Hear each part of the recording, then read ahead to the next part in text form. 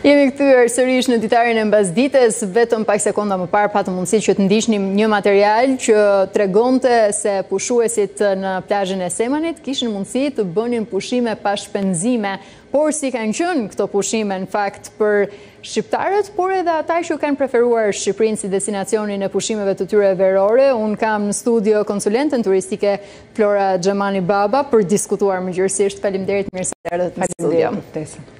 Jemi në muajin më të preferuar për pushime, si po shkon deri në këto momente? Në këtë muaj po shkon shumë mirë, por në qoftë se do më pyesnit se si ka shkuar sezoni deri tani, ka shkuar çuditshëm, ka shkuar jo sipas parashikimeve që janë bërë vjet për sezonin e sivjetshëm. Ka qenë një sezon i cili nuk ka shkuar kudo njëlloj.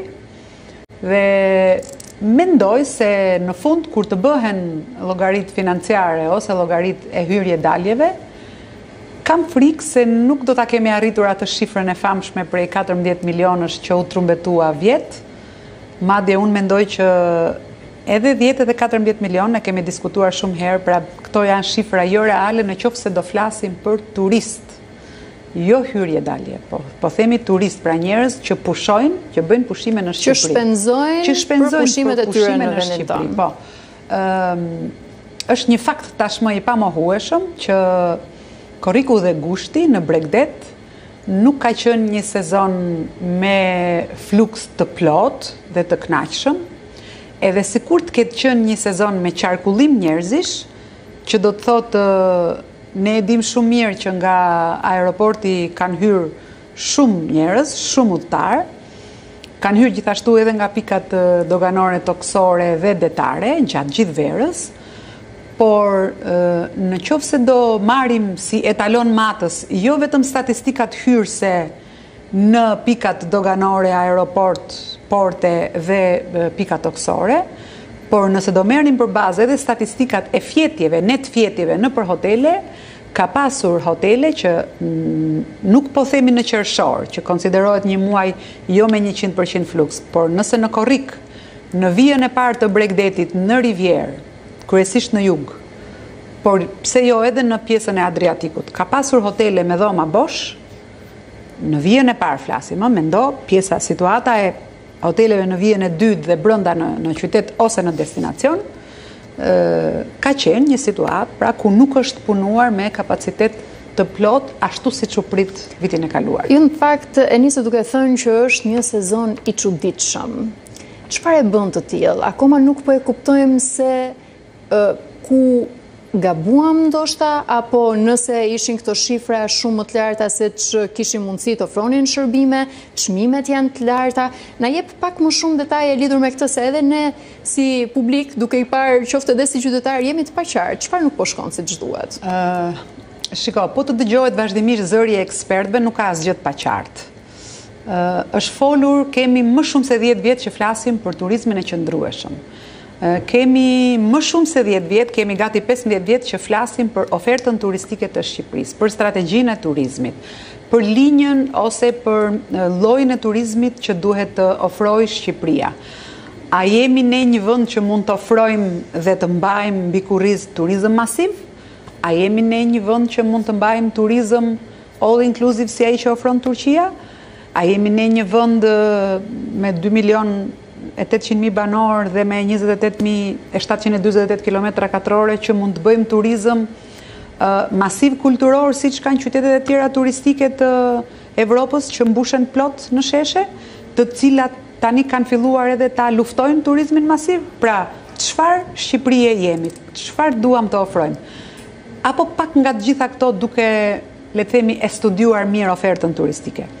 Fatkeqësisht, nuk është bërë asgjë ose është bërë shumë pak në këtë drejtim.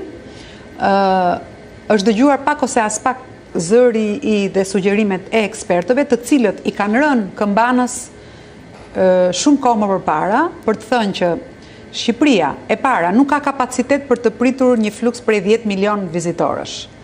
Ë nuk ka as për 5 milionë vizitorë në fakt. Në qoftë se sezoni do të shtrihej, siç filloi të shtrihej, një prej sukseseve të deridikushme mund të konsiderohet turizmi i organizuar, pra turizmi i parapaguar me paketa half, full board dhe all inclusive, për aq sa ka Shqipëria all inclusive, janë paketa shumë të mira që ofrojnë një turizëm të shtrirë në kohë, pra një sezon që nga pranvera deri në vjeshtë, ka pasur vitet e shkuara edhe sivjet, por më pak, kur filloi të lulëzonte turizmi rusishtfolës, Ukraina, Rusia, Bjellorusia, por edhe një pjesë e turizmit të shteteve të vendeve nordike, i cili nuk gjeti atë që shpresoi në Shqipëri dhe u tërhoq, pra këto janë ato kambanat të cilave i ka rënë vazhdimisht sektori privat me në krye ekspertët, duhej që Shqipëria të plotësonte disa kushte të cilat ende nuk i ka plotësuar për fat të keq. Cilat janë këto? Në qoftë se sektori i akomodimit po përparon gjithnjë e më shumë duke ngritur struktura të reja, luksoze, me kushte shumë të mira, me shërbime deri diku të mira, por jo plotësisht të mira, sepse shërbim nuk është vetëm infrastruktura që ti ofron, por është edhe sjellja që ti ke ndaj turistit, gjë që ne nuk e kemi në fakt në në nivelet e duhura. Ofertë turistike ose pjesë e ofertës turistike është edhe mjedisi, që do të thotë mjedisi ku ti e shtrin ofertën turistike, infrastruktura mjedisore, infrastruktura rrugore, infrastruktura elektrike, pra gjithçka që është përtej një resorti privat në Shqipëri, për fat të keq, ende çalon mjerueshëm.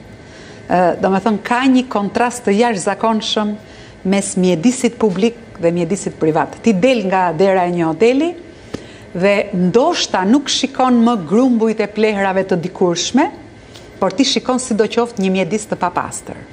Dhe kur them mjedis të papastër, nuk kam këtu për qëllim që të kritikoj strukturat lokale apo qendrore që nuk e pastrojnë vendin, unë mund të kritikoj këtu edhe pushuesit ose përdoruesit e mjedisit që jemi ne vetë, të cilët nuk e mirëmbajnë ose nuk e respektojnë pronën e përbashkët, duke e konsideruar si pjesë që nuk i përket.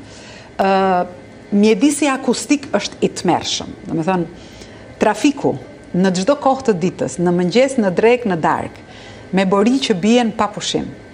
Ë infrastruktura e plazheve ka një muzikë kakofonike ku në njëqind metra linearë ti ke së paku dhjetë lokale, të cilat luajnë muzikë të ndryshme, e cila dëgjohet disa kilometra larg prej hapësirës detare, pra ta mundëson, le themi, Ngaqë nuk ka pengesa të tjera se ku të përplaset, ajo përplaset në veshin e turistit dhe një pjesë dërrmuese e turistëve ankohen pikërisht për këto gjëra të cilat janë një kombinim kaotik që nuk i lejon ata të shijojnë bregdetin ose mjedisin turistik.